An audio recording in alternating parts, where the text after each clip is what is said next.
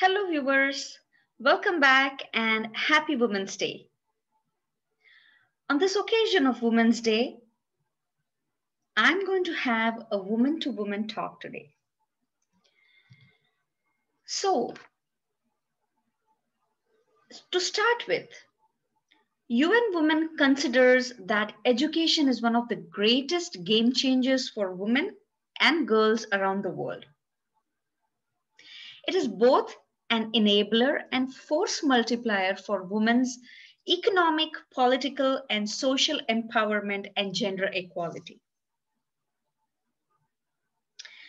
So, whatever I'm going to say further down the line is not to offend any of my male friends, male family members, or any man around the globe.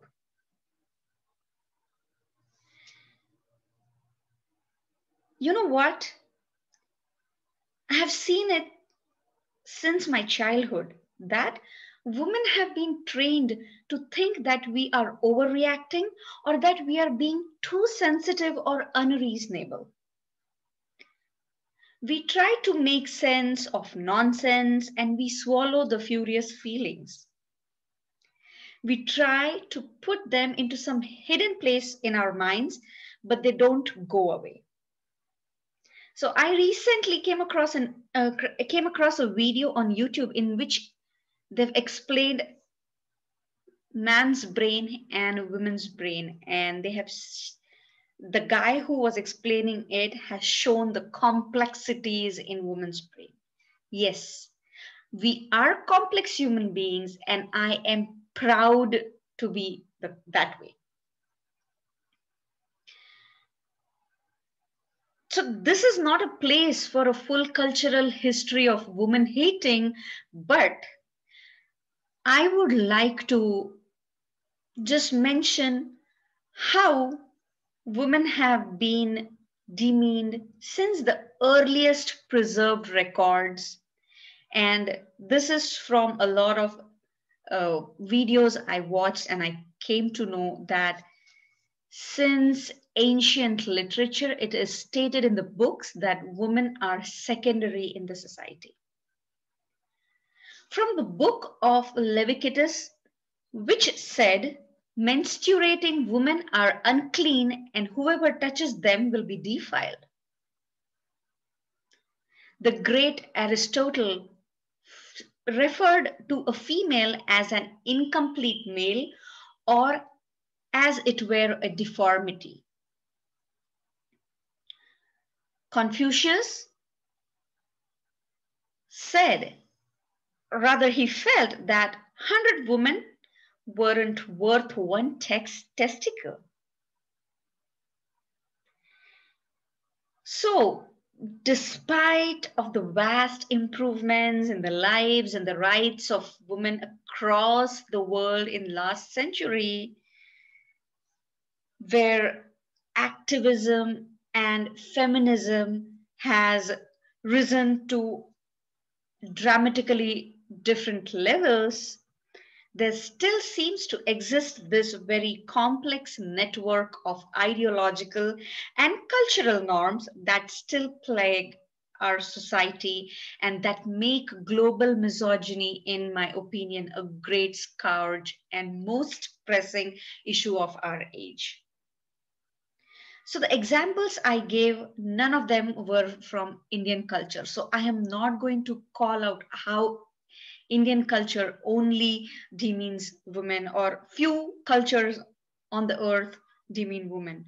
But it is known that it, I mean, this is done globally. It's, it's, it's everywhere in the world. And that's why what I feel is why just expect men to give that kind of respect, political, educational, and financial equality? So, of course, men's support is crucial to this movement. But, and, and women don't ask to be ahead or behind men, but we just want to be on their side as equals. However, have you ever seen, have you ever felt, or have you ever done this to another woman? There are so many instances, there are so many examples that come to my mind every single day in which a woman does not support another woman. A woman disgraces another woman. A woman discourages the progress of another woman. So, today's point I want to make is it is women must support each other. Women must support her fraternity. Stop judging the woman in front just because she's doing better than you, doing less than you. She got a husband better than yours, looks wise, money wise, and you do not have that kind of uh, partner. Don't discourage a woman because of the way she looks, because of the way she dresses up because of the complexion she has.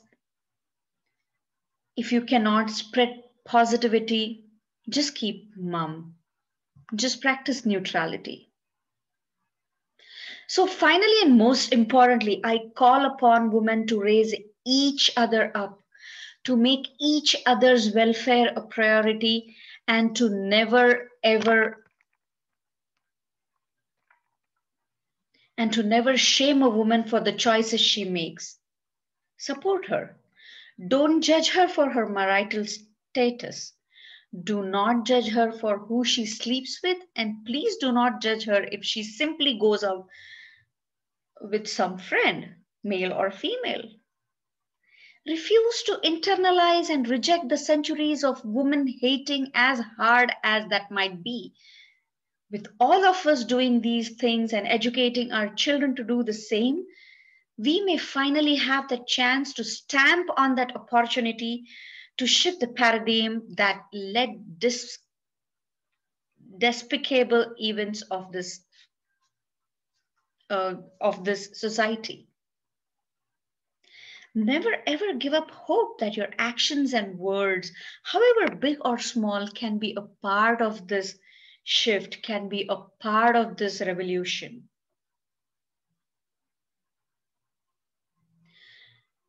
So, to be in the presence of this bright light, this light will come from any source or any direction.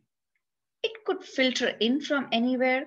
It could be the light that we lit at the start of the beginning. For some, it could be a stoplight or it could just be a flickering candle in a dark room. So may be the big bright sun. Let this light shower on you. Women, you are special. It is our responsibility to stand by another sister, another female friend, another female family member for everything that is right. Again, I am not trying to spread any hatred or enmity towards our male friends or the male counterparts in the society. I am just trying to generate this tiny awareness that you are also responsible that so many women are not treated the way they should be. They are not granted honor or respect within their faiths. So please choose to support each other. With this, I again wish you all a very happy Women's Day. I am a very proud daughter of parents who have believed in me, had faith in me, and till date, whatever choices I have taken, good or bad, my mother, father, and my brother have stood by me in every single decision of my life. So I request everybody to please spread positivity, support each other, that if you cannot spread positivity, try to practice neutrality or stay away from anything that is going to affect you negatively. Happy Women's Day and thank you for watching this video. I hope we all will stay together and grow together in our lives. We deserve the best and I believe and I pray that we get the best. Thank you very much and have a very, very good day.